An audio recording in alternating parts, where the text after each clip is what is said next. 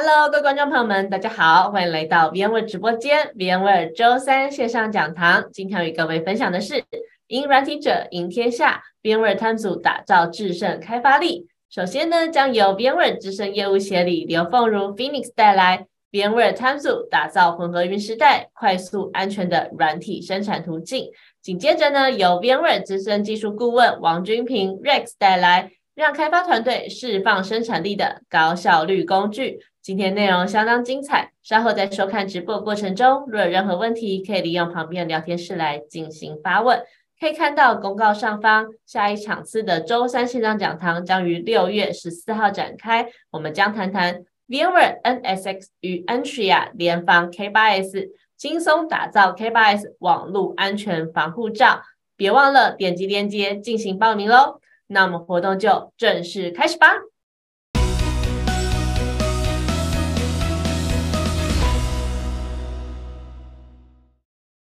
Hello。VMware 周三线上讲堂的观众朋友们，大家好，我是 VMware 负责现代应用开发和数据的 Phoenix 刘凤如，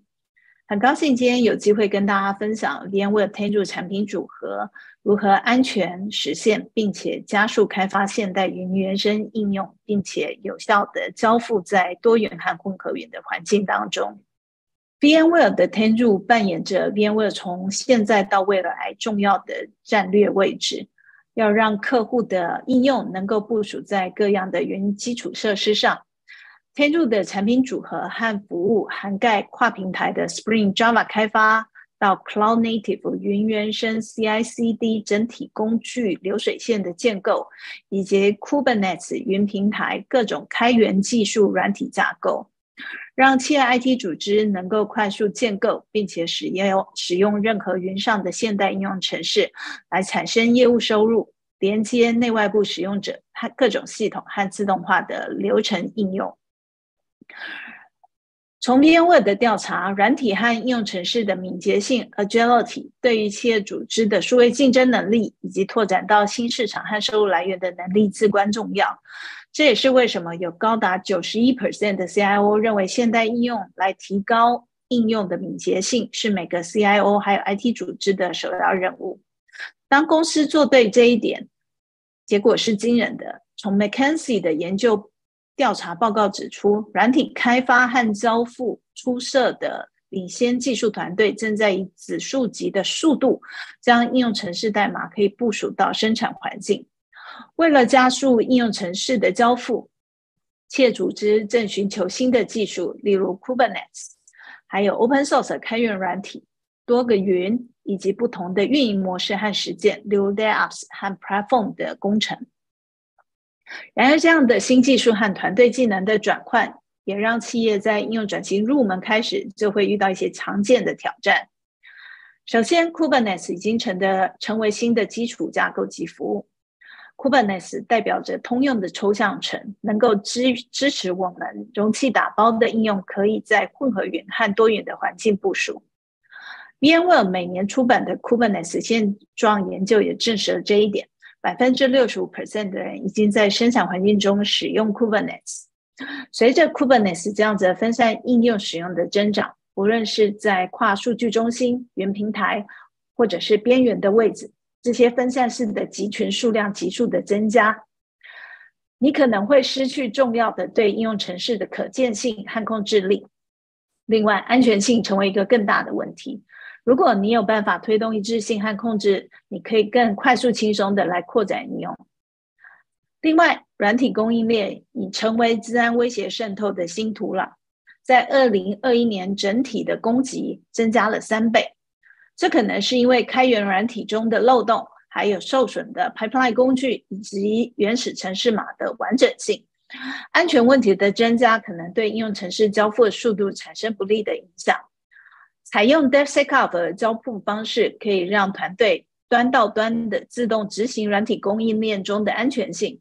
我们从开发人员使用安全的起点构建软体模块，到生产过程中不断验证的代码。再到 runtime 时的保护应用，来提供如何打造一个端到端的自然实践是重要的事情。另外，在整个的新的技术站当中，让开发人快速的开发，并且提高工作效率，是最重要的事情之一。不幸的是，在云原生的世界当中，开发人员正面临着前所未有的复杂性危机。公有云以及 Kubernetes 已经铺露了许多技术的学习障碍和门槛，他们有可能压倒开发人员的生产力。每个云每个云上面还有各式各样的应用程式服务，还有它们之间的差异。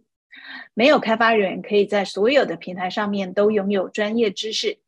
更多开发人员不想花费时间在 Kubernetes 的问题查找，要如何投资开发人员体验来提升速度，成为重要的一个议题。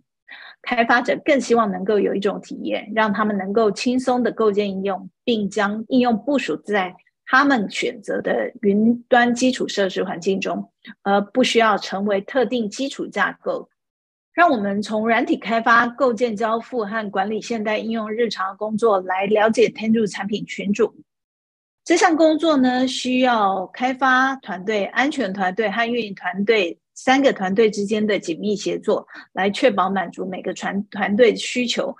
而且需要明确每个团队的职掌和协作目标，以确保每个角色都可以针对他们的工作流程来进行优化。让开发人员可以专注在交付关键的业务逻辑，做城市码的撰写以及迭代的开发。安全的团队呢，可以确保端到端和自动化的插入安全性和合规性的栅栏。在运营团队上面，可以专注在平台以及在哪里运行的应用程式和集群。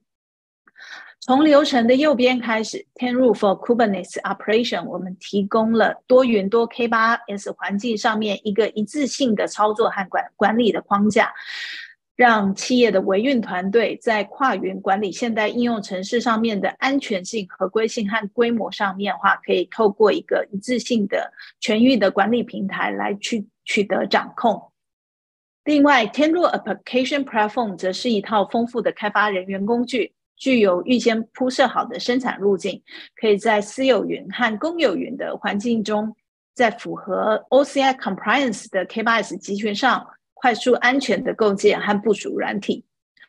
为了加快实现应用城市的价值和时间，我们提供 Tenru Labs 顾问专家服务。来帮助实现应用现代化，构建平台，并传授关键的技能，让你的云平台团队还有应用快开发团队能够快速的扩展。让我们进一步了解这些解决方案和应用场景。Tenru for Kubernetes Operation，让你的运营团队可以将开发人员分散部署在。各种基础设施上面的 K8s 重集资产进行所谓的全域的控制，你可以将所有私有云、公有云上面的 K8s 的发行版本，包括 TKG、VMware 所支持的 K8s Runtime、Amazon 的 EKS、Azure 的 AKS、Google 的 GKE、OpenShift，甚至是你自己的托管开源 K8s 集群。你还可以跨公有云和 vSphere 配置来管理整个的 K8s 集群的生命周期。此外，你能够从 Runtime 的连接来保护现代应用和数据。另外，利用所有来呃来自于 K8s 发行版的数据和所谓的一个 log 来获取可见性。从而更快的优化整个应用程式的效能，并且有效的解决问题。这个客户案例是一家金融信用平等公司，IT 的目标呢是要呃撤离自建数据中心，并迁移到公有云。在他们旅程中，他们最终在容器 K8s 和公有云的许多采用级别上建立了六个不同的部门。并且拥有大量不在公司标准合规软体应用清单上的影子 IT。除了现有的本地和 VMware Cloud 使用方式外，他们还有一个经验丰富的部门，跟 Amazon EKS 和 Knative 合作合作。而其他团队刚刚进入 AWS 上的容器，然后有一个使用 Azure 的新计划。这种缺乏一致性。带来了企业 IT 组织一个安全上面的风险和运营上面的挑战。他们希望在一个容器平台上面可以实施标准化，让他们在本地和云中可以使用。这超越了他们自己 DIY 的平台，需要提供更多的自动化和全域的控制。他们之所以选择 VMware Tanzu，是因为 VMware Tanzu 可以满足他们在 K8s 运营上的需求，同时还为他们提供了一种一致而且安全性的方式来将应用程式投入生产。现在，让我们进一步了解 Tanzu Application Platform。借由 Tanzu Application Platform，开发人员可以使用熟悉的工具来去做应用程式的开发，但是拥有正确的安全性和合规性的护栏，让他们编写的代码可以更快的投入生产。我们通过应用程式的范本。可以让开发人快速的启动开发，不论是框架代码配置，还有云原生模式，还有包括企业内部最佳实验和安全测验相结合，来节省整个开发性应用程式入门的大量时间。然后只需要一个命令，开发人就可以在几分钟之内在 Kubernetes 集群上面来运行应用程式的 workload，让他们从 IDE 本身的调试正在运行的容器。不论是在本地运行，或者作为托管的 K8s 集群，甚至在公有云上来运行，开发人可以更轻松的访问 API、数据服务和环境来开发测试代码和构建部署容器的自动化。另外，具有内在安全性的自动化部署管道，来通过生产路径上面插入开发人员的签章。并做呃 image，还有一些落点的扫描，还有相关的一些合规的储存功能，来实现更安全的软体供应链。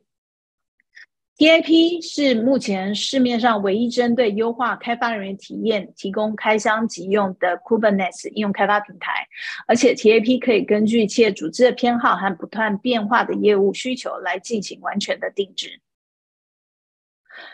这是采用 Tanzu Application Platform 的客户案例。这家客户是医疗服务的 IT 组织，高阶主管认知到，通过使开发人成功，他们才能够真正让他们的数位业务更成功。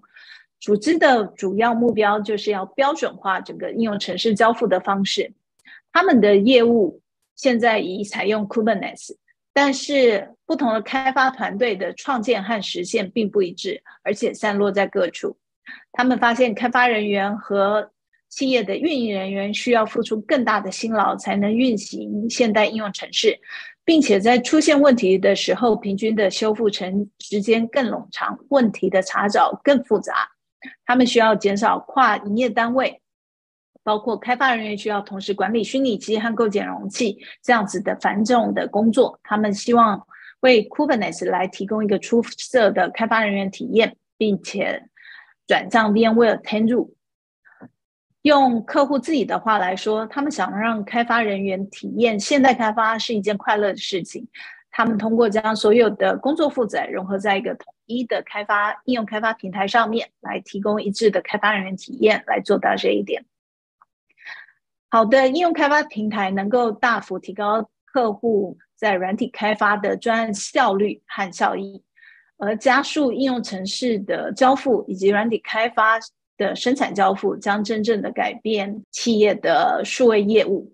要能够正确的做到这一点，可以将部署代码的速度提升数百倍，更加快提升百分之三十五 percent 应用交付，可以让收入增长，并且透过减轻开发人员技术负担，提供更好的开发人体验，可以有效提高开发者百分之九十二的。客户满意度，并且能够创造高达八十八 percent 的一个收益增长的一个巨大效益。最后，Tanzu Application Platform 和 Tanzu for Kubernetes Operation 是 VMware 针对企业云平台团队在打造快速、安全的现代应用开发流程，以及托 K8s 重集以及多元分散环境的一致合规管理解决方案。整个的 Tanzu 解决方案采取模组化的设计，可以在任何的 Kubernetes 的集群上面，还有地端和云端的环境中支持软体供应链 DevSecOps 的流程，还有工具链的建制，提供一致的开发人员体验和运营管理的体验，使 IT 的团队能够在多 K8s 集群和多云环境上面更快速、安全的交付应用软体，并高效的大规模的营运。以上是我针对 VMware Tanzu 两个主要的解决方案：Tanzu Application Platform 以及 Tanzu for Kubernetes Operation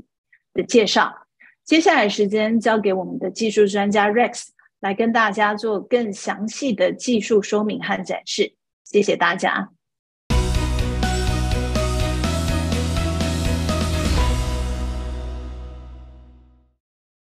各位朋友，大家好，我是 VMware Rex 王，很高兴今天来跟大家谈论让开发团队释放生产力的高效率工具。那今天会有两个主题，一个是我会介绍由 VMware 开发的 Tanzu Application Platform。那第二个主题呢，是会谈到呃由 VMware 以及微软共同提供技术以及服务的 Azure Spring Apps 这样子一个产品哈。那首先我们看到的是借由 Tensor Application Platform 打造 K8s 成为 Pass。那我们都知道呢，在开发团队常见到有一些议题哦，我常常遇到一些开发团队他们在使用。呃，K8s 这样的产品的时候呢，他会发现，他会说，他需要用额外的时间再去学习容器以及 K8s 这样子的相关的技技术以及技能哦。那另外呢，编写这个 Docker file 以及 K8s YAML file 呢，其实对他来说呢，他会觉得是一个额外的负担。那另外呢，常常开发团队呢，呃，这个应用开发上线会 postpone，常常有几个可能，一个是只有自然漏洞。常常另外一个呢是有发现有 bug 或者功能不符需求哈，那这个应该怎么解决哈？这个我们待会会一一来为大家做解答。那首先我们看到为什么开发者对于呃使用 K8s 有一定的这种呃就是说他觉得有一定的困难度呢？其实从画面上看到，这是一个以 Spring 为例子的一个呃流程。那从如果就算从这个第一步，我是把这个 Spring 呢这个 Java 应用的 compile 好之后。我还得有额外的工作，我需要去编写 doc file，好，我需要编写 doc file 才能够去生成镜像，好，才能够把我的这个应用呢打包在容器里面，然后呢才推送到呃镜像仓库。举例来说，像是我们公司的 Hubble，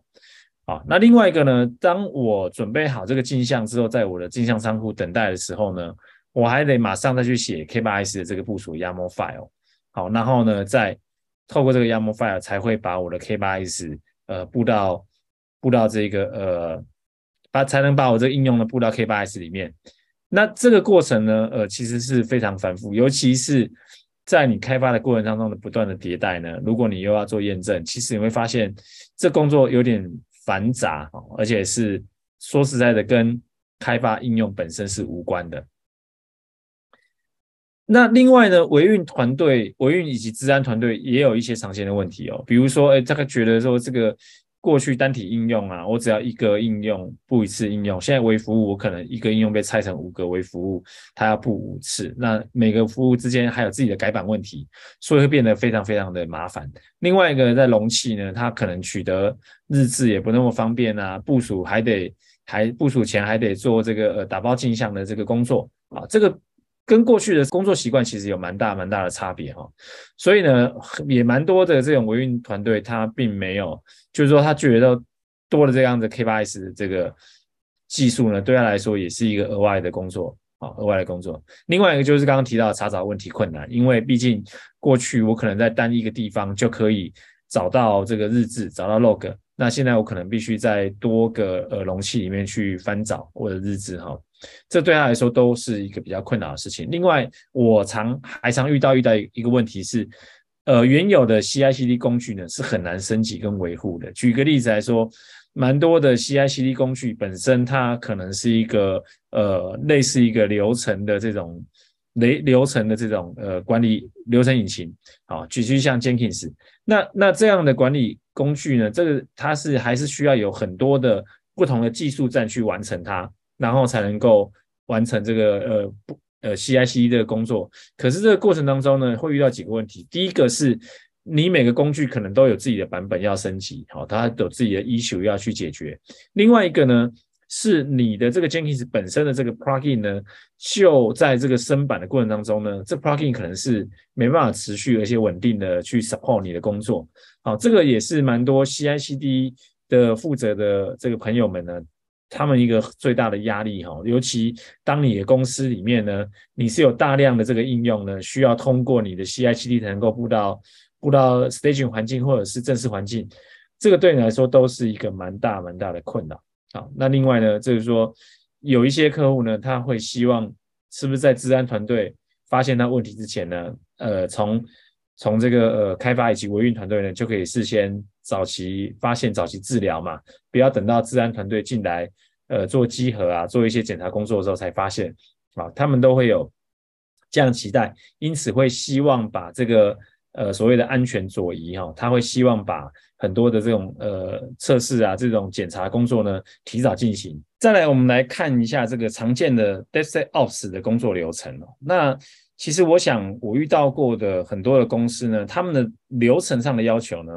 大概是十之八九是就是八九不离十，大概就这样子的过程。可是呢，呃，唯一的最大差别就是可能有不同城市语言。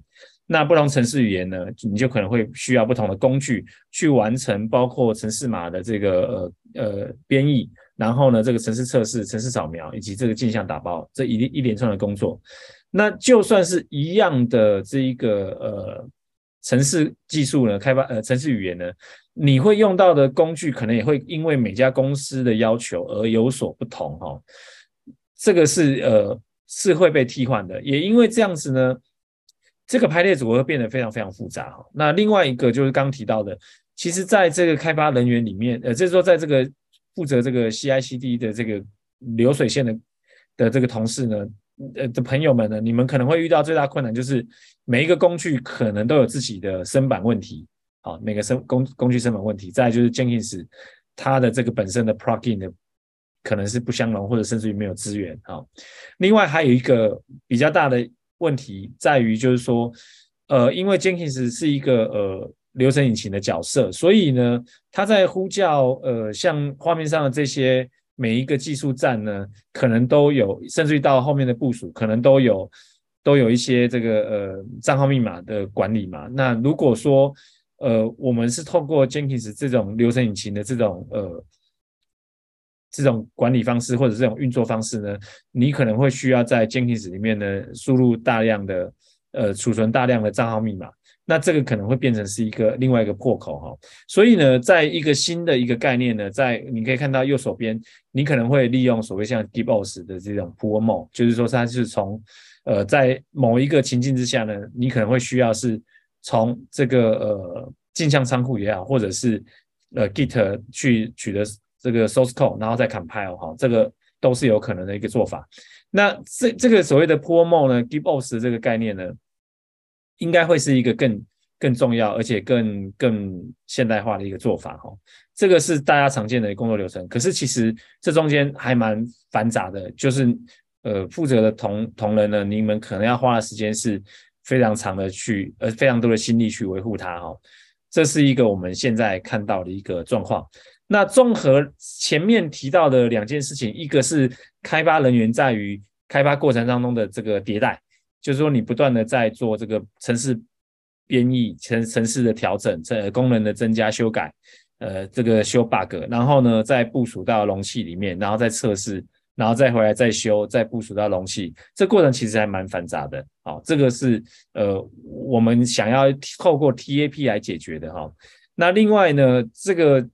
就是呃，还有一个就是城市模板部分呢，呃，我们在开发的时候，通常会希望说，哎，是不是有一个现成的，而且是统一的？尤其在公司大规模开发里面呢，我们都有一个这样的需求，我们都希望说有一个开发模板，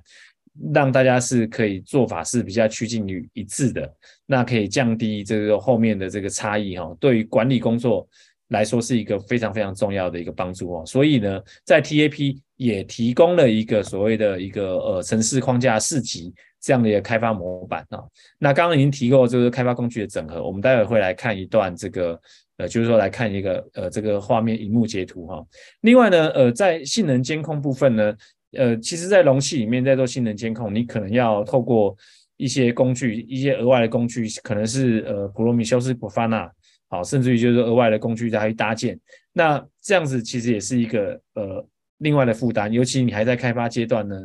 基本上不太方便，就是说，哎，资资源每一个开发人员都有一个这样的工具去查看他自己的应用状况。好，这可是呢，在我们 TAP 里面呢，我们就一并的想要帮呃各位呢去解决。开发的这个几个困扰哈，再来呢，在维运者面向呢，刚刚提到，其实呃，在 CICD 流水线里面呢，其实呃，你要做的事情大同小异。可是呢，如果要让你每天去维护这个流水线上的每一个技术、每一个产品的这个稳定以及版本的这个控管呢，对你来说，对于这个流水线呃维运维运的管理者的方面向来说呢，它会是一个蛮大的困扰。好，这个他的工作可能包括，就是说你要测试，你要封装封装镜像，好，然后你可能还要就是去扫描这个你的城市码套件，然后去做这个呃呃镜像的扫描，最后还要做微服部署。这个过程当中真的还蛮蛮蛮繁杂的哈。所以呢，我们的产品呢也想要来解决维运者面向的三这几个问题啊。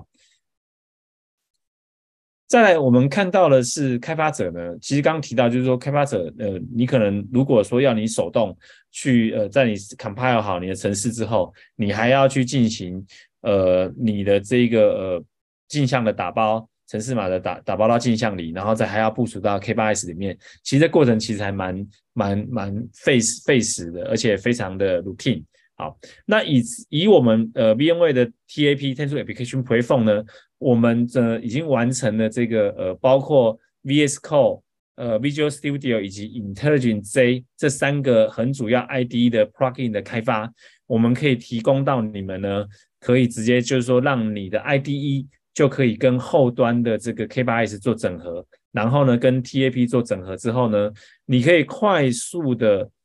呃在 IDE 里面呢去进行。呃，应用的这个呃部署啊，这个包括镜像打包及部署以及日志的查看。好，画面上看到的这个就是一个我们 plug in 的一个呃所额外帮大家做出来的一个 menu。当你这边选到所谓的 live update 的时候呢，你的应用呢就会快速的被部署到远端的 K8s。这样做有有蛮多好处的。第一个是呃，你的电脑不用再就是为了开发 K8s 而去安装一个 Mini Cube 或者是或者是 Kind 啊，你可以去整合后端的这一个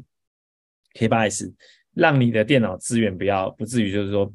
非常非常大的负担。可是呢，这个当然另外还有一个还有其他好处，就是说在我这样做的时候，因为呃一个一台个人电脑你要跑微服务啊，容器的量其实也还是有上限的，不会因为。你你的这个呃，从虚拟机改成为服务之后，你的可以变很多很多哈，这个当然也是不太不切实际的一个幻想哈。那有时候我们在做大规模开发测试的时候，我们还是会希望就是说，诶，我是不是我的电脑不要被资资源吃的这么重，然后呢，导致以至于我的整个电脑会速度会变得很慢哦。那可以，你可以透过我们的工具，你可以透过我们的工具直接将你的这个应用呢布到远端的 K8s，加快你的这个。就是让你的这个电脑，桌上型电脑呢，不至于就是说资源被消耗殆尽哦。那另外一个呢，你可以看到画面上右边这里呢，就可以看到 这些白色的字呢，其实就是远端的 K8s 日志的下载哈。就是说，你可以在这边看到你刚刚部署上去的整个呃日志跑起来，就是应用跑起来的这个日志都在这边可以呈现哦，让你可以快速的去 debug 哦，而不用再还还还得再登录啊，或者还得。去切换 command line 啊，command mode，然后再去输入指令去捞捞这个 log 啊，捞这个 K8s 状态出来查看哦，这样子是无形中呢，呃，我们用这个方式让你可以呃大幅的这个减少这样子的时间消耗哈。哇，这个也是我们最近有一个很重要的客户，他们的一个实验使用之后的一个非常非常好的反应哈，就是觉得说，哎，我这样子，即使我对于 K8s 以及这个大壳的这个技术呢，不是特别熟悉，不是特别熟练，这个下指令也蛮麻烦的。可是透过这样技术呢，我是可以做到可以快速的去部署应用，而且可以查查询结果哈，大大的提升他们整个呃工作的效率。再来看到，其实呃我们会我们会大家都理解，就是说过去我在单体应用，或者是我在这种呃传统的这种呃应用上面呢，如果我要看日志，我可能需要登录到呃这个 middleware 哈，登录到这个 server 上面去查看。那那那时候还好，因为是单体应用。好，那以现在来说的话，你是容器的时候，你就会比较麻烦，你可能要登录那个容器。然后呢，另外一个，如果要是微服务，你有多少的应用需要这样一个一个去查哈？这个对大家的工作效率肯定是。呃，大打折扣哈，因此呢，我们的 TAP 也来解决大家这个问题哦。我们有一个 Live View，好，Live View 就是它做什么呢？Live View 它的最重要的功能就是它可以及时的将你的日志呢，呃，就是说收集下来，在我们的 Dashboard 上面，你可以看到日志，甚至于这个日志的查看呢，是你是可以呃选时间区间的，好，那另外还可以直接帮你 download。对你来说呢，会非常非常方便哦，日志也可以直接 download。还有一个非常重要，就是说这边有提到有一些像是 CPU memory，有一些这种呃，你需要做一些比较深层的 debug Hit hit dump 也好呢，或者是呃这个 thread dump 也好呢，都可以在这样的画面被取得啊。另外你可以看到所谓的呃 HT A API 的这个呃 response time，以及这个 HTTP 的 request。都可以在这个一个画面呢被你取取得，好，那是可以真的大大的提升你的工作效率。接下来我们进到呃偏向 CI/CD DevOps 这一段的这个这个工作内容，好，那我们看到 CI/CD DevOps 这样子的呃，刚刚提到这个维护的同仁呢，维护的朋友们呢，你们可能会需要花很多时间，不断反复的去推敲每一个呃工作每一站每一个。每一个工具呢，这个需要改版的这个状况哈，以及这个要调整，这个其实是一个非常非常额外的一个呃工作哈。那在我们的产品里面呢，我们是有提供了一个开箱即用的这样的一个呃系列产品，从你的这个城市的这个呃这个这个呃打包测试，以及到这个套件城市套件的扫描，再来就是说这个呃。自动化的帮你去建置镜像，然后呢，再做镜像扫描，以及最后呢，K8s 这个 YAML 档的部署，这个这个档案呢自动产生，对于你们来说呢，其实你们是大大的降低的，呃，非常大大降低了这个很多人为的介入哈。那这样子的好处，其实就是说，你也不用再呃去关心，你也不用再去呃去处理单一个工具单一个工具的问题哈。这个对大家来说是一个非常重要。另外有几点呢，我也顺带一提，就是在这个呃套件检查这边呢，其实套件检查，也许蛮多朋友还没有注意到这件事情呢。就是说，套件检查现在已经也是一个必备的。为什么呢？因为在这个呃开源的世界里呢，我们去用很多不同的开源工具。举例来说，我今天开发的时候，我用了十个开源工具。那也许呢，我老板就问我说：“那 Rex，你的这个开发工具呢？呃，你你的这个 framework 你用了几个啊？你我用了十个 framework，那我用了十个 framework，真的就只有十个吗？我不知道了，可能后面还有八个、十、二十个、三十个，甚至于更多。为什么？因为现在蛮多的这种呃开发的这种框架或者是 library 来说，它都不会再自己造轮子的，它可能会再去利用其他的这种。呃，其他的框架以及 library 来搭建出来的，因此呢，这个开发开发套件检查呢，就会显得非常非常重要。好，那在这个套件检查里面呢，我们呃的产品里面有带了一个这个开源的工具，就可以帮你做套套件检查，而且呢，会产生一个完整的这个报告给你们哈，让你可以知道说你现在这一个城市里面呢，有具有多少是呃有多少具有风险的这个应用以及套件在里面。另外还有一点也蛮重要，就是在我们的呃 TBS 哈画面上看到中间这个 TBS 好所谓的 Tenzu Build Service，那在这里呢，我们带的这个 Build Service 呢是一个开源的版本啊。那如果说呢要呃有机会的话，如果大家可以的话，你有需要包括像是 Spring Runtime 的 support 啊，或者是 Open JDK 或者 d a n e Code 的这种 support 呢，其实你是可以去。采购我们的所谓的 Tensu Build Service，好这样的 license，那这个 license 里面的 Build Service 呢，它就可以涵盖了这一个呃这些这些开发呃 runtime 啊，以及这个 framework 的什的资源哦。那除了可以帮你去快速的去打包你的镜像，让你不用写 DUCK file 之外呢，我们的这个底层的这些 runtime 的 support、OpenJDK support 呢，都会涵盖在我们 TensorFlow Service 里面哦。OK。接下来我们要总结一下，就是在 Tensu，呃，就是说在 Tensu Application Platform 一点五呢，新的一些强化功能介绍哈，在解决开发人员所面临的挑战部分呢，我们在那个 Visual Studio Code 呢，也加入了 Tensu 的观察视窗，让大家可以直接呢去查看这个 Tensu 的这个运行的状况哈。另外呢，在 Intelligent J 呢，它也多，就是说我们多了一个应用开发。呃，应用程式的这个引导设定哈，就是说让你的这个设定呢可以更加顺利。再来呢，我们可以让你们呢可以快速的去迁移所谓 Spring Boot 的应用哈。当然这些细详细的功能呢，我们后续再来安排时间来来详谈。另外一个非常重要的是，在我们在这个呃 Tensor Application Platform TAP 一点五版里面呢，我们也增加了对于这个 Spring Cloud Gateway for Kubernetes 的资源哈。那这个这一段呢，我待会会来呃再来跟大家详细的来说明哈。另外呢，在解决维运人员的挑战部分呢，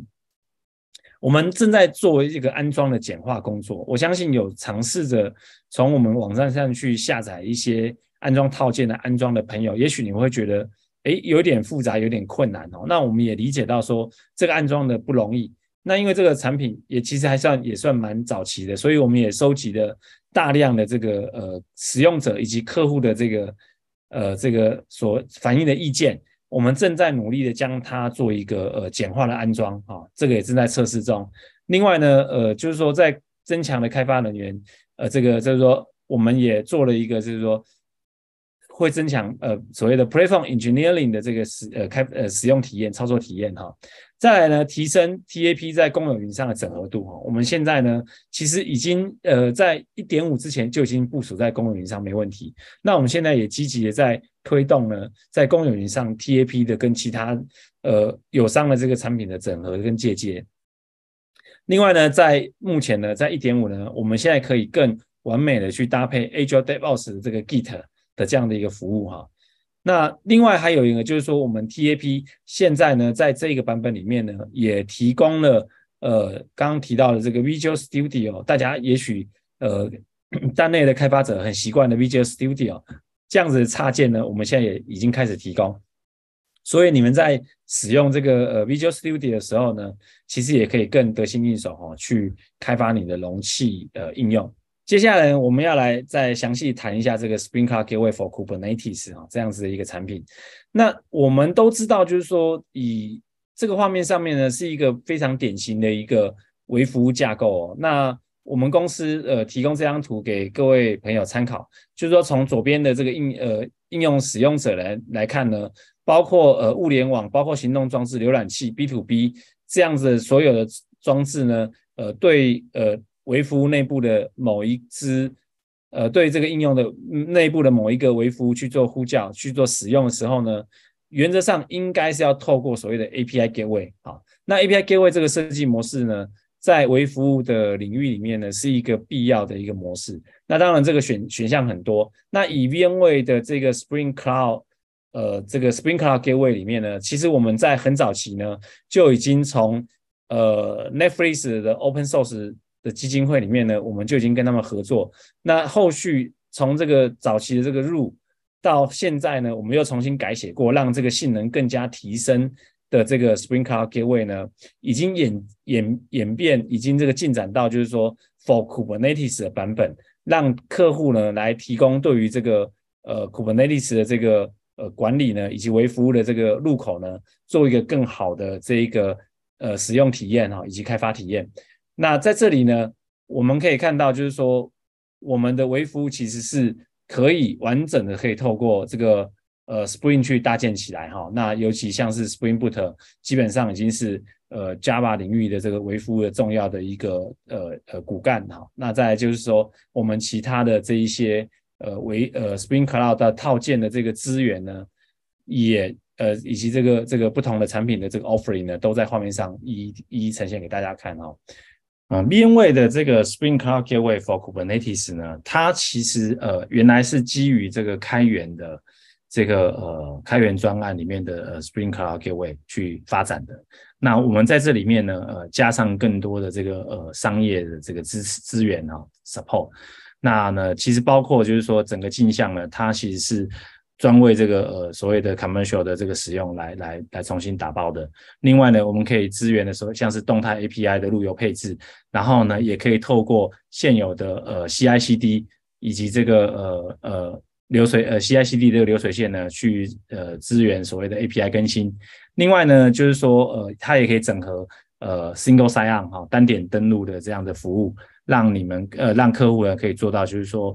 呃，这个身份验证啊，以及访问的这个 request 的这个 control 啊，再来呢，就是说它可以呃提供呃像是呃 Open API 三的这个版本的一个自动生成的文件啊，另外呢，就是它可以做到是透过呃水平的呃配置呃扩展呢，呃可以说透过配置做到水平的扩展，来提高它的呃高可用性。另外呢，也可以透过 API 网关的这个 instance 的这个呃记忆体以及这个 vCPU 的这个呃配置呢，可以提到的一个呃，可这个设定呢，可以做到所谓的垂直扩展。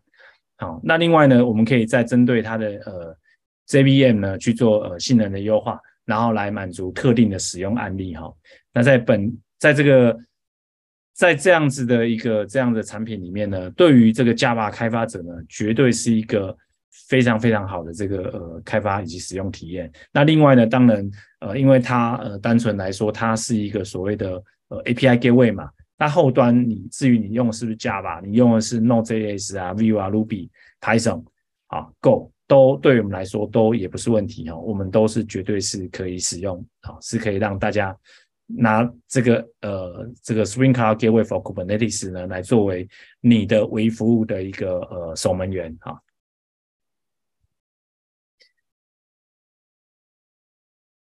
在这里，我快速的来演示一下我们的这个 TAP 的整个操作过程哦。那画面上看到的呢，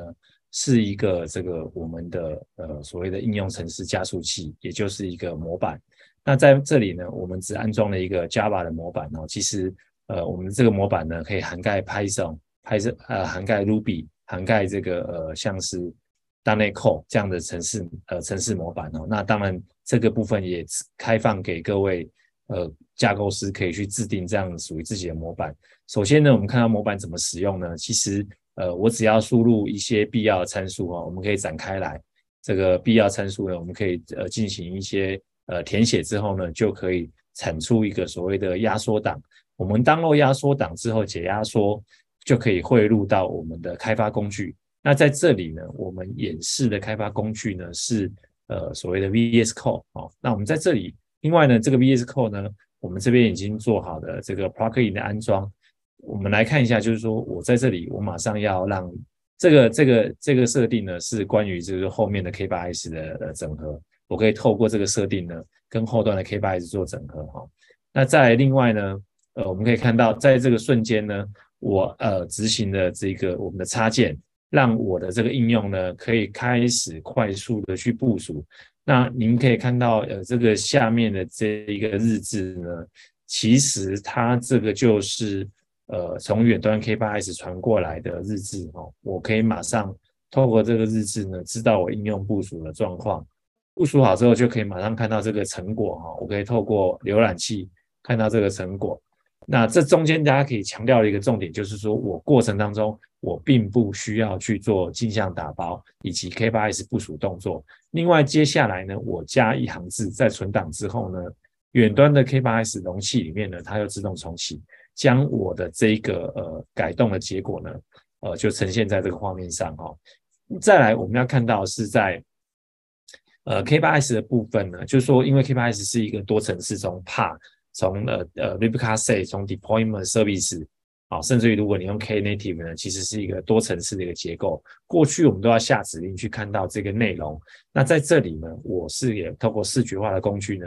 直接看到呃我的整个 K8s 的执行状态哦。那再来呢，我可以透过呃所谓的这一个呃我的画面呢，直接去查看我的日志。那在日志这部分呢，当然这个日志存的内容是呃还是根据。这个平台上面的呃 storage 的数量哈的大小来决定的。好，当然如果是要长期的存放，我们还是建议呃采用其他的呃产品来储存啊。如果在短期内呢，我是可以快速的在这个画面上呢看到近期的这日子，甚至于我可以设定时间区间。另外呢，我还可以做的事情就是去改动我的这个 log label。好，那这个 log level 改动对于我们来来说非常有帮助，因为常常我们在做 debug 的时候，希望呃可以看到更多资讯哦。可是真的在部署到正式环境或 stage staging 环境的时候，我又不希望我的日志量太多哈，导致我的呃这个 log server 爆爆掉哈。所以这个 log 这个是可以透过我们的 UI 来做改动。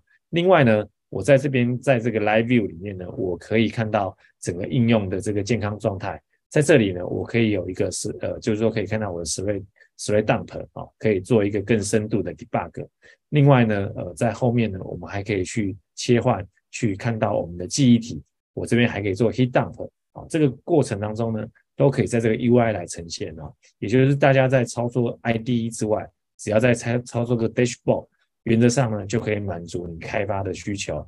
那这画面上看到的是一个 HTTP request 的画面呈现。再来呢，就是说我们也可以看到其他的一些指标哈，一些一些性能指标都可以在我们的 dashboard 上呈现。接下来我会进到所谓的再然后进到这个所谓 outer loop 这边就会有所谓呃可以做到呃你的这个应用的这个呃 CI/CD 的一个工作哈。从这个呃这个画面上是说我们整个流水线呢是有 UI 可以呈现的。从城市码取得到这个所谓的呃测试啊，透过 Tekton 啊去呃呃去触发呃这个这 unit 的测试呢，都可以在这个工具流水线里面来来被使用哈。我们可以稍微快转一下，那接下来呢，它会进到所谓的呃呃这个呃扫描哈安全弱扫部分。那我们如果将我们的规则定在一个比较严苛的状态呢，我们的这个 TAP 将会帮你把这个呃部署过程拦截下来、停下来哈。那如果说哎你在这个某一些场景上面你不需要特别有一个呃比较严格的这个管制的话呢，比如说我只是做一个简单的测试，那我当然就可以把一些呃标准降低，让这一个呃应用呢可以通过啊，通过这个通过这个呃呃扫描。好，那这个扫描其实除了套件扫描，还有镜像扫描。镜像在我们呃镜像封装完之后的镜像扫描呢，也是另外一个安全上的把关。接下来还有一个安全的把关，就是将我们的镜像呢推送到我们公司的 Hubble 啊，这都是呃一关一关的呃安全上的这个考量啊。那可以让你的应用呢达到一个呃多层次的安全保护。接下来呢，呃，你可以看到呃我们。随着时间的推动，我们的产品，呃，它在这个做这个安全落扫之后呢，其实是呃，在这个镜像扫描之后呢，你可以看到，这就是一个扫描结果的一个呈现。那这个扫描结果的呈现呢，对于你们查找问题或者解决问题呢，是可以做到早期发现、早期治疗哈，不用等到真正进到呃平台里面，进到这个部署环境里面呢，才发现说你有很多事情要去做处理。你可以在这边就可以，呃，预先做这个呃处置，避免这个呃比较有具有风险的这个呃容器啊应用程式呢跑到你的这个平台上。那以上是这一个 TAP 的这个 demo。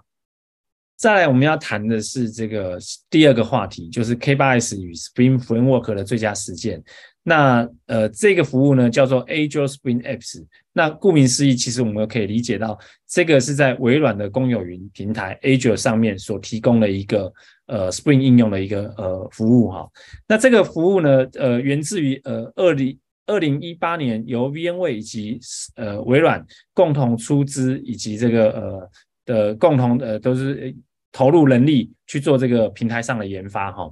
那主要是为了解决客户一些呃面临的一些问题跟挑战哦。那企业迁移到云平台呢，主要的问题啊，包括你要了解应用的这个依赖关系，你要去迁移这个应用跟资料啊。这个对于呃很多的这种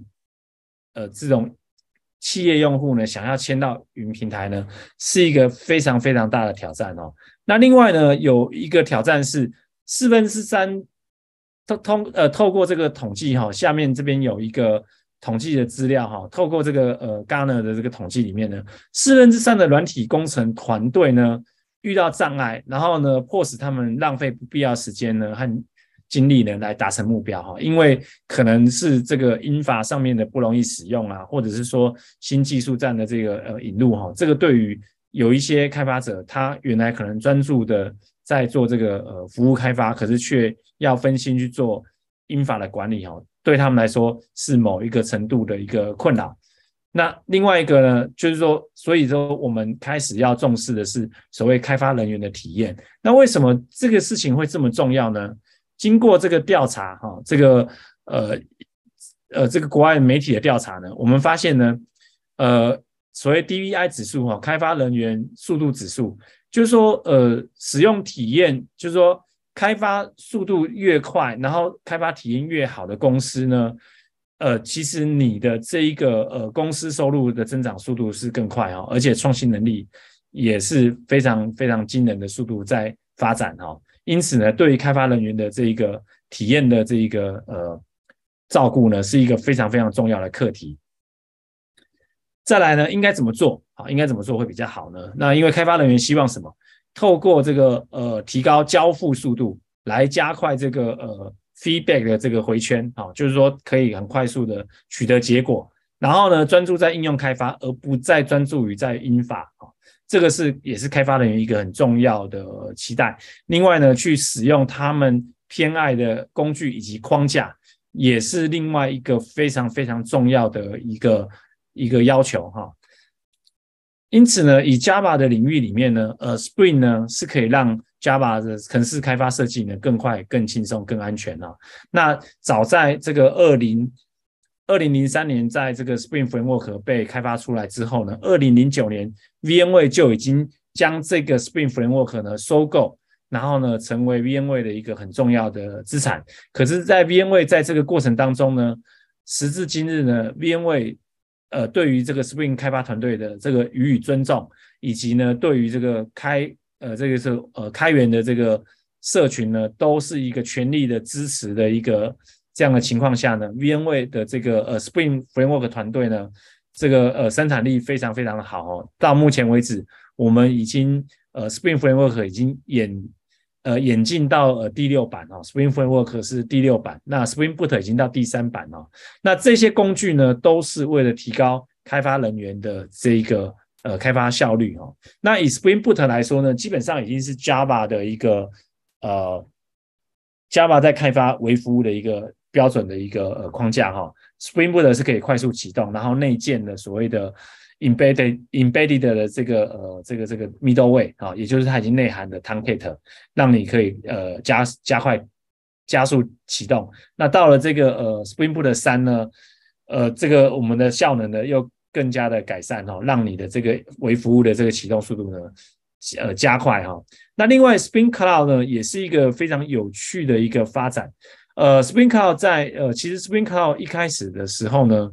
呃，并还没有呃 Kubernetes Kubernetes 的出现哦。那 Spring Cloud 呢，当时就是为了微服务，呃，服务治理哈，呃，以及这种呃服务治理啊，微服务的这种管理工作啊，以及这种调度资源调度，呃，这样这样子一个一个一个角色出现哈。那 Spring Cloud 呢，它就是为了云原生而存在哈。到目前为止呢，Spring Cloud 还是持续的不断在发展。然后呢，为了配合各呃各呃各行各业的客户的使用的这个需求呢，我们还持续的不断在演进。那另外呢，这个呃 Spring 呢，它是一个就是说它可以 run anywhere 好，然后呢，它是灵活可移植，好，非常的一个完善的一个呃所谓的应用开发框架。那它的程式码非常清晰，那你可以降低它的复杂复杂度。减少你的技术在哈，让呃开发人员更专注在业务逻辑。然后呢，因为它内建的这个测试框架，所以呢，你的这个测试呢是可以非常非常完善哦，让你的这个城市码的品质呢得以提升哈。再来呢，我们看到的是所谓的 Spring 的常是有一些常见的挑战哈，因为毕竟 Spring 是专注在于应用开发这一层哈。那呃。所以呢，在 Spring 呢，呃，就算你用了 Spring 呢，呃来来来再来开发，可是你还是得有一个呃云基础架构哈，就是说 cloud 的这个 infrastructure 你还是得去管啊。如果说你没有特定去买一些呃比较方便的服务的话，你还是得自己去管这样子的 infrastructure。然后呢，另外一个就是说这个生命周期的这一个。呃，管理呢，应用生命周期的管理呢，也不在 Spring 的这个框架的这个范范围内。另外呢，就是说对问题的排查呢，可能在微服务的架构之下呢，也不是那么容易。因此呢，呃，大家会需要一个更好的一个工具，好，一个被更完善、被呃设计过的工具呢，来管理在云上面的 Spring 应用。好，所以呢，呃。Spring Apps 呢，因此这样子呃运孕育而生哈。那呃 Azure Spring Apps 呢，它是一个呃全面代管服务。那它代管的这个呃基础架构，然后呢也可以做应用呃应用生命周期的管理。然后它是非常易于监控哦。那大家也可以很容易的在这个平台上面呢取得。呃，在这个平台上面呢，取得相关的服务呢，跟你的呃这个服务跟你的这个应用呢做整合，好，然后发挥更大的效果。这边呢要谈到的就是说，它在于就是说应用生命周期管理上面呢，其实是一个非常方便。那我们可以看到，呃，它简化的这样子的管理工作哈，那包括应用部署哈，当然它呃除了你可以用这个呃 Azure 平台上面的工具去部署去。建构啊，那之外呢，你也可以利用所谓的呃，我们刚刚提到的 TAP 去跟这个 Azure 上面的这个云平台呢，Azure Spring Apps 呢去做这个整合啊，那你可以应用，可以快速的被部署到这个云平台，以及做这个生命周期管理。那另外另外呢，就是说它在这里面呢，你可以从整个呃右边的这这几个几个图示来看呢，从底层的这个各种资料库的这个使用。好，然后呢，再来就是说，你也可以轻易的去使用左边的这个呃呃微软的 Azure 上面的一些呃认证机制。好，然后呢，这个呃身份验证授权都可以直接在这个平台上完成。另外呢，就是说它在这个平台上面呢，也内建了一些像是 CI/CD 流水线啊，以及监控的工具，你都可以快速的去做这个整合哈。然后呢，完整的可以完整的提供。呃，你的公司内部的一个企业上面的需求的使用，呃，微软的这一个呃 Azure Spring Apps 呢，在配合它呃这个平台上面的这些工具之后呢，其实它可以让你从你在呃构思你的这个应用、你的服务呢，到部署到正式环境呢，是可以全程的自动化。那这个其中呢，包括呃在准备以及在这个建构以及在部署的整个过程当中呢。都有不同的工具可以来支持哦，包括呃从准备工作里面的这个 Terraform 啊，以及这个 Azure 自己的所谓的 ARM，到这个 A A Z 的 CLI，好，都是可以来作为准备，就是说你这个环境准备啊，环境的设定的呃这个呃工工具使用。那另外呢，在建构你的这个 Java 应用的时候，你可以我们可以用到 Java 开发者最熟悉的，像是这个 Maven。像是这个 Gradle 啊，都是呃在做建构工作的这个很好的工具。另外在部署里面呢，当然这个 Azure 呢也提供了一个完善的工具哈。此外呢，呃包括呃这个所谓的 Azure Pipeline 以及这个 A 呃 GitHub 的 Action，然后呢再加上 Jenkins 呢，都是可以作为整个 Azure 的这一个呃平台上面的这个呃应用部署的一个呃工具工具技术站哦。此外呢，我们关心的一点就是说，我们在使用这样子的新的这样这样子的一个环境的时候呢，或我们迁到公有云的时候呢，那原来的这些系统呢，以及这个你所要需要的这些工具呢，是不是还存在哈？那我们简单的很快速的看一下，就是画面上，包括网络大家习惯的 F5 啊，包括这个呃所谓的这个 Cloudflare 啊，以及这个监控里面大家常用的这个 Dynatrace 啊，或者 Splunk。以及这个自动化会常用的，像 Jenkins 啊、GitLab 啊、Azure Pipelines 啊，以及 GitHub Actions 啊，再来呢，就是说身份验证呢，我们会喜喜欢用的所谓的 AD、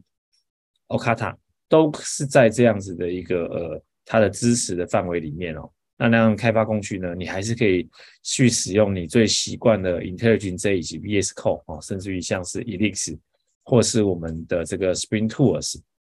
都是呃开发工具的这个呃 support 的其中一环哦。接下来我们来看一个由这个 Azure 呃就由微软以及 VMware 提出来的一个典型的一个所谓的 LOB 啊 Line of Business 的一个应用体系架构。那这个里面呢，你可以看到呃我们的这个应用的使用者呢，他是可以透过呃这个呃 G 呃 Spring Cloud Gateway 去使用后端呃从这边进来之后去使用前端的 Node.js 以及后端的 API，那在这样子的一个身份登录认证里面呢，呃，我们是可以让呃这个 Spring Cloud Gateway 跟这个 Azure 呃 AD 去做整合哦。那当然我的应用呢可以去使用这个呃 Azure 上面的这个 PostgreSQL。那在这个呃我的身份验证里面呢，我可以将这些账号密码呢存在所谓 Azure 上面的 Key Vault。这都是呃，在你使用呃 Azure Spring Apps 里面呢，可以享受到额外的这个平台的好处哦。接下来我们看到是在于呃监控部分哦，因为呃因为在这个平台上面呢，其实在微服务监控是一个复杂的事情哦。那在 Azure Monitor 呢，其实就可以让你取得最有价值的监控资讯哦。那再来就是说，可以看到包括系统啊、JVM 的一些指标啊，以及这个日志，都可以在这个呃 Azure Monitor 来及时来掌握。最后呢，我想在剩下这几个页的 PPT 里面呢，我再来呃 recap 一下，就说在这个 Azure 呃 Spring Apps 里面的一些技术站哦。那我们可以看到 Azure 呃 Spring Apps 的。它的底层其实是透过呃 Kubernetes 去搭建起来的，然后呢再去配合呃 Spring Cloud 以及这个 Spring 的相关组件哦，来完成一个所谓的 PaaS 的一个平台。那透过这一个 Azure Spring Apps 呢，你是可以轻松、快速的，也无痛的，就是可以采用到呃 Kubernetes 的这个优势。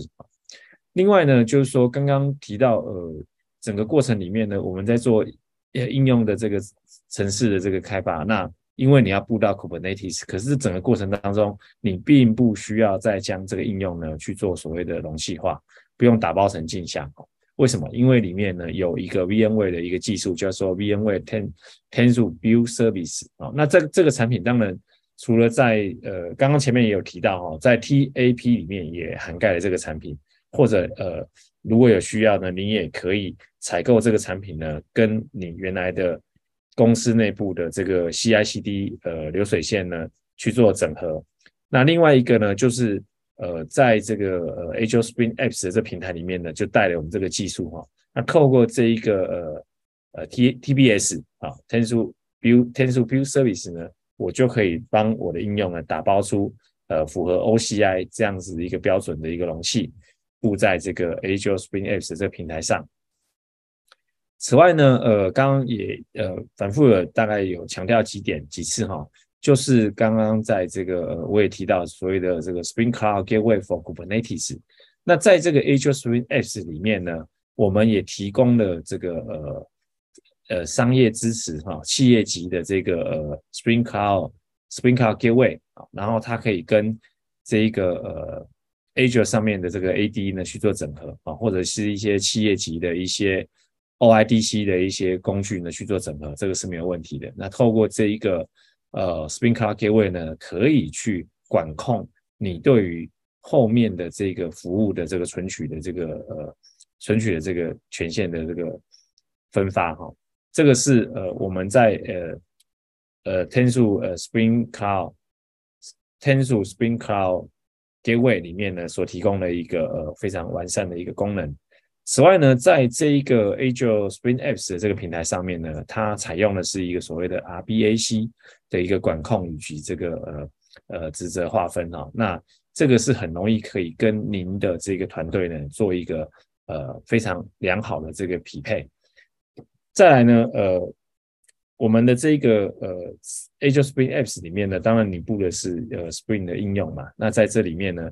只要是采用我们这个服务的话呢。我们的这一个呃，我们的服务团队，我们的这个产品团队呢，就会提供呃大家就是说一个框架的这个呃企业等级的支持啊。那另外呢，就是说我们是专为企业而打包所而而建构的一个专门的这个版本哈。再来呢，我想要跟各位介绍一下，就是在呃微软的这个平台上面呢，其实它有非常多的这个呃教学哈，教学的这个不管是影片也好，不管是这个呃这个教材也好，这个也是微软在这几年来呢，对于呃 Spring Java 的开发者呢，呃所提供的一个非常非常好的服务哈。接下来我们要来看这个呃这个演练哈，我们来实际操作一下这个演练。那我们都知道，就是说微软在近几年来对于 Java 开发者以及这个 Spring 的 user 呢，呃非常友善，提供大量的这个教材以及资源哦，让我们在这个使用上面呢，以及在开发上面呢，更加得心应手哈。那我们来看一下，就是说它这个教材有哪一些？大家可以看到，就是呃这个是。这是一个非常呃入门的一个呃 Spring 的教材哈，那呃大家有兴趣的话呢，可以从呃这个呃这个 Azure Learn 里面呢，从这个呃微软的这个学习网站里面呢，可以看到怎么样去开始，然后怎样去做这个操作。那今天呢，我在这个演练演示上面呢，我想要做一个比较复杂一点的一个例子，在这里呢有另外一个例子呢，他提到的是所谓的这一个呃。宠物诊所哈，一个宠物诊所。那这个宠物诊所，它其实呃是一个非常典型的呃 Spring 的一个呃呃范例城市。那这个 Spring 范例城市呢，从早期的单体应用到演变至今呢，已经有所谓的微服务的版本哈。那微软也在这里提供我们呃微服务版本的这个呃动宠物诊所呢的这个部署练习哈。那我们来看一下呃怎么样去做。这个应用部署哈，那首先呢，嗯，我们我们先简单看一下，就是说我需要在这一个呃，在这个地方，我 follow 这个，我跟着这个一步一步去操作哈。哇，我首先要先从呃这个呃 Azure 的 sample 的这个 GitHub 的这个 repo 上面呢，把这一个程式码给 download 下来哈，再来呢做一些 compile 动作。那我先把它 copy 起来。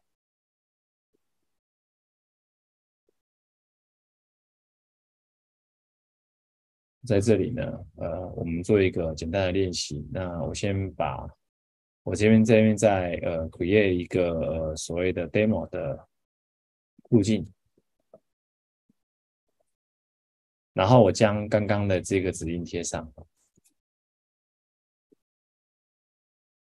它这个贴上这三行指令，其实一个是从 Git 上取得程式码，再来就是跳到这一个路径下面。接下来就是用 Maven 去做所谓的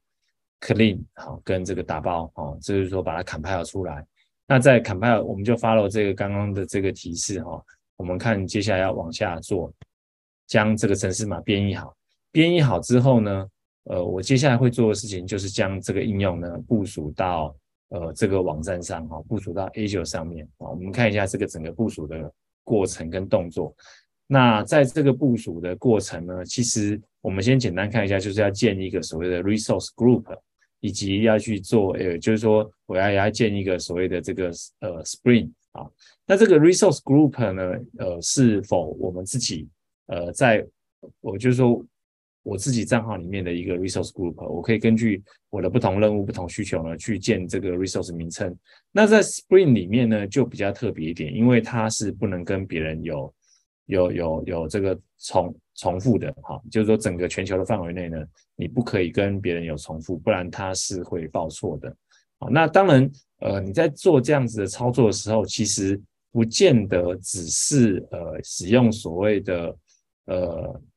portal 哈，Azure portal，你也是可以用 CLI。那我个人是是比较 prefer 使用这个所谓的 CLI 哈。那我们看一下，我现在正在 download。正在 compile 这个 source code 哈，正在 compile 这个程式码，所以我要稍微等它一下。OK，那因为它这个是好几颗微服务去构成的哈，包括呃像这个画面上看到的是所谓的宠物医院的这个 admin 的这个 server 啊，以及这个前端的这个。一个微服务架构的一个一个范例哈，在这个 compile 的过程当中，我们先简单快速的看一下这个文件哦，它就是说在从 create 的这个 resource group，再来就是要去做所谓的呃呃这个 Spring 的这个名称的这个命名，接下来呢呃我就可以去呃 create 一个所谓的这个 Spring Apps，再来呃 create 完这个 Spring 呃 create 两个 Spring Apps 之后呢，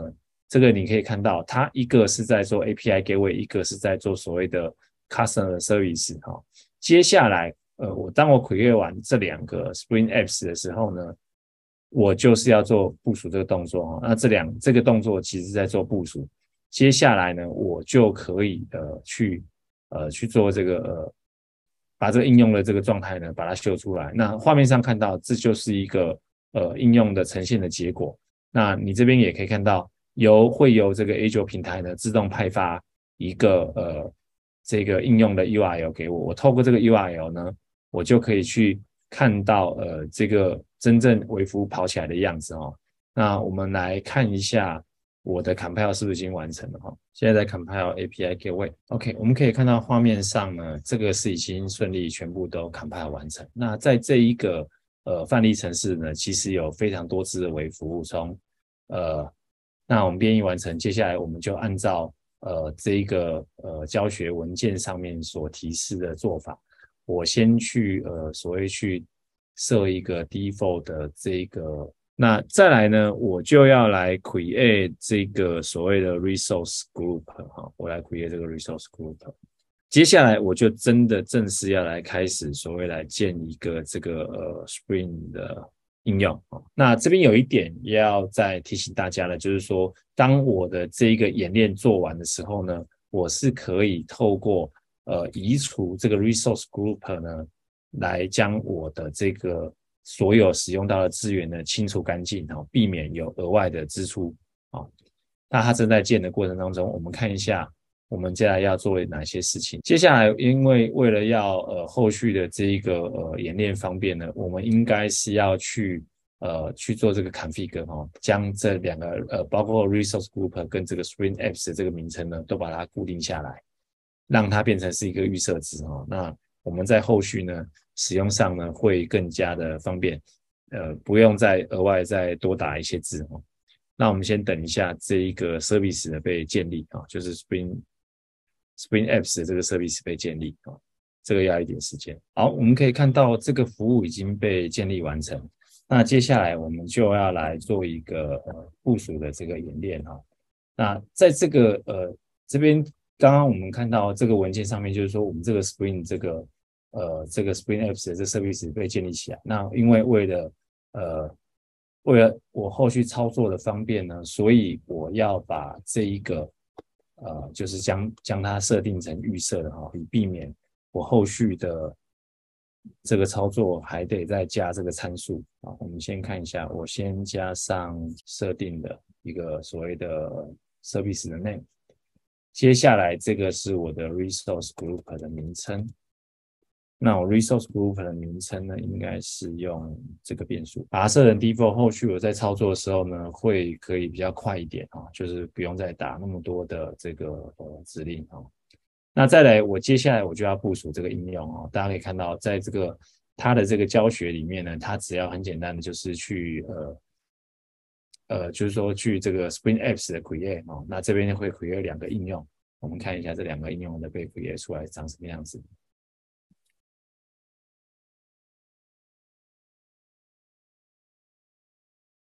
呃，这两个应用被 create 出来，你可以想象，就是说这个应该就是概念上就是在这个呃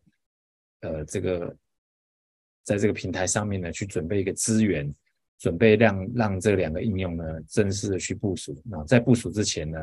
我们先去腾出一个空间呢，让这个呃 API gateway 以及这个所谓的 customer service 呢做好准备哈，待会。我们就会正式的将这个应用部署上去。OK，刚刚已经呃 create 好第一个应用哈，API gateway，现在就继续 create 这个这个 customer service。OK，customer service 也 create 成功哈，接下来我们就正式要将应用部上去哦。那我们简单看一下，它其实就是要去指定这个呃应用的 AP 的名称之后呢，你要把这个 artifact 的 path，也就是我 compile 好之后架档呢指定给它，它就会将我这个架档呢上传到。Azure 的平台上，然后借由呃 VMware 的 Tensor Build Service 将它打包出一个 OCI 规格的一个镜像，然后部署到这个 Azure Spring Apps 这个平台里。那这个 Apps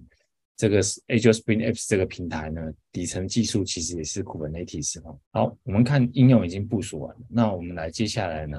透过这个呃 Azure 的 CLI，我们可以去查看就是应用的整个部署的结果。